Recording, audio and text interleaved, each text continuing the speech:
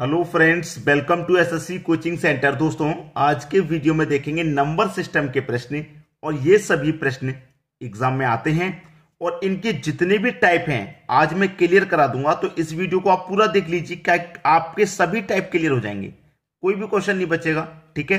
तो देखिए, यहाँ पे प्रश्न आपका है रूट बारह प्लस रूट बारह प्लस रूट बारह। ये इन्फिनिटी तक जा रहा है। यानी कि कोई एक संख्या रिपीट हो रही है बार बार। बारह बारह बारह बार रिपीट हो रही है और ये प्लस में रिपीट हो रही है, हर बार प्लस में। तो याद रखें, आपको इसमें करना क्या है? क्या है आपके पास? बारह। इस बारह के करो गुणनखंड। इस बारह के करने आपको गुणनखंड। और गुणनखंड देखिए क्या हो सकते हैं। गुणनखंड हो सकते हैं दो छिक्के बारह, और बारह के और कौन से गुणनखंड हो सकते हैं? बारह, एकम बारह, ये भी बारह के गुणनखंड हो जाएँगे।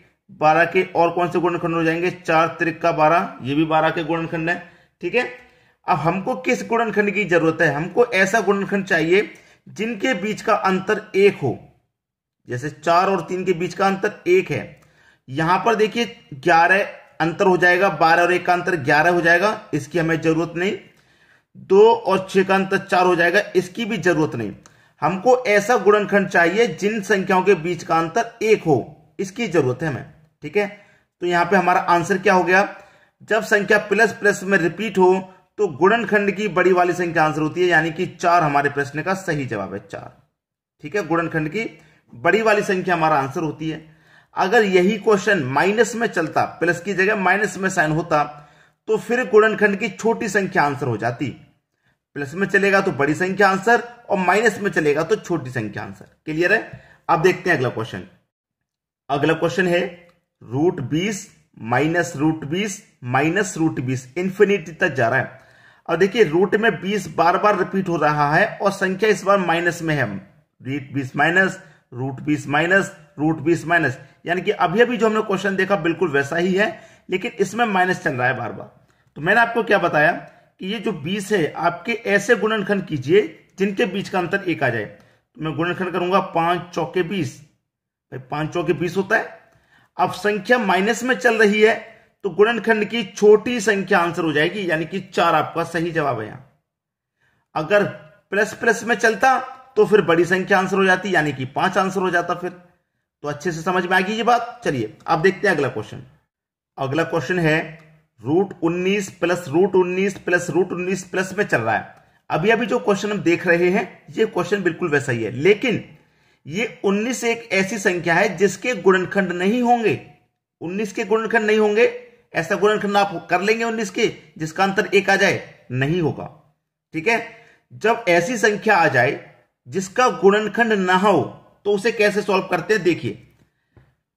फोर एन प्लस वन, पूरे के ऊपर रूट चढ़ा दो डिवाइडेड बाई टू और प्लस वन। ये पूरा फॉर्मूला अभी के अभी नोट कर लीजिए आप।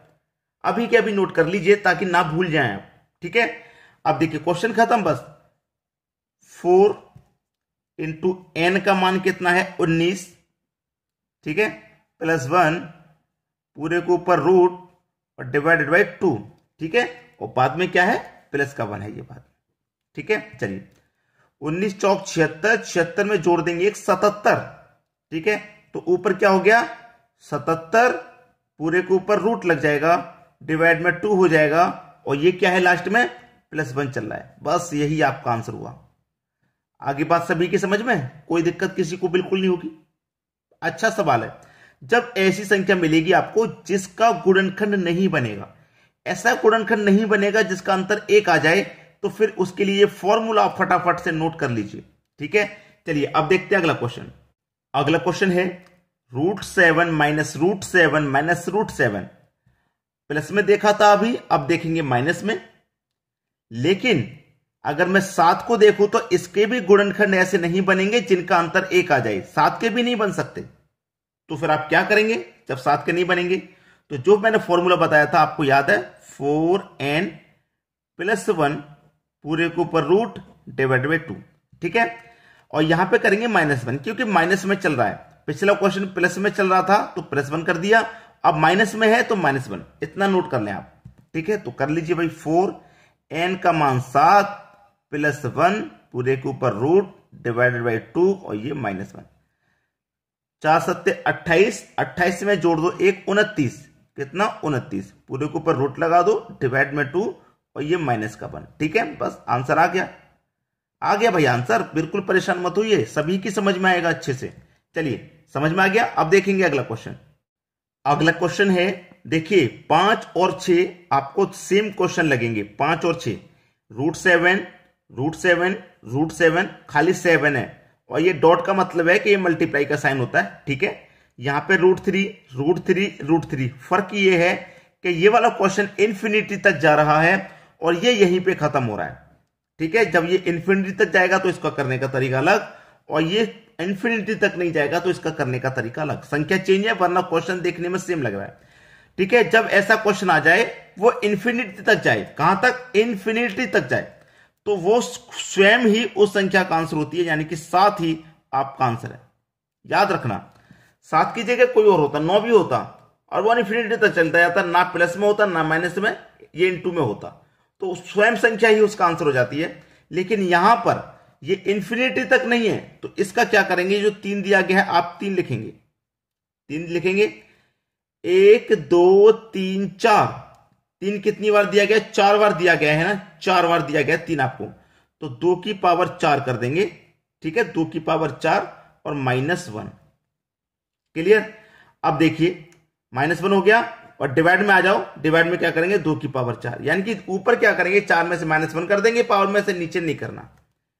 ये तीन तो रहेगा ही रहेगा, ठीक है? तीन तो रहेगा। दो की पावर चार का मान सोलह सोलह में से एक घटा दो पंद्रह।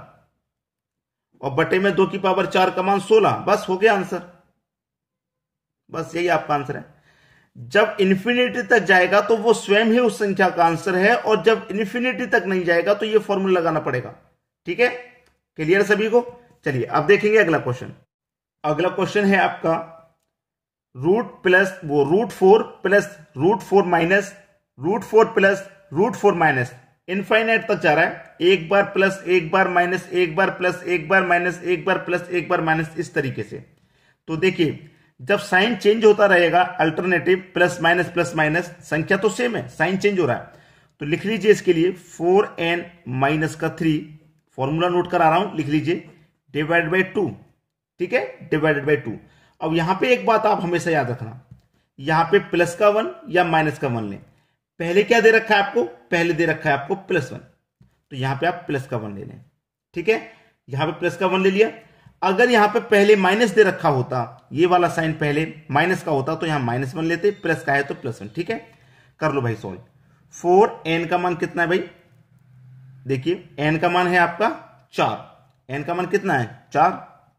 और माइनस का थ्री। ठीक है? पूरे के ऊपर रूट लगाइए, बटे में टू प्लस वन चार चौके सोलह सोलह में से माइनस कर देंगे तीन तो बचेगा तेरह. तेरह के ऊपर रूट लगाइए डिवाइड में टू प्लस वन हो गया आपका आंसर हो गया कि नहीं हो गया? क्लियर है सभी को? चलिए, अब देखेंगे अगला क्वेश्चन अगला प्रश्न है root five minus root plus root five minus root five plus root five minus root five plus, यानी कि एक बार माइनस, एक बार प्लस, एक बार माइनस, एक बार प्लस, ऐसे चल रहा है। तो तरीका मैंने आपको बता दिया, four N minus three divided by two, इस पूरे के ऊपर एन। अगर यहाँ पहले प्लस था तो हमने पहले प्लस कर लिया, और यहाँ पहले माइनस है तो यहाँ पहले माइनस कर लेंगे। बस ये करना है, ठीक है? चलिए, फोर इंटू एन का मान कितना? फाइव है, माइनस का थ्री। पूरे के ऊपर रूट लगा दो डिवाइड में टू और ये माइनस का वन चार पच्चे बीस बीस में से घटा दो तीन तो कितना हो जाएगा सत्रह डिवाइड में टू ऊपर रूट लगा दो माइनस का वन ठीक है? ये आपका आंसर हो गया. ये हो गया आपका आंसर बिल्कुल सही जवाब. सभी की समझ में आ गया?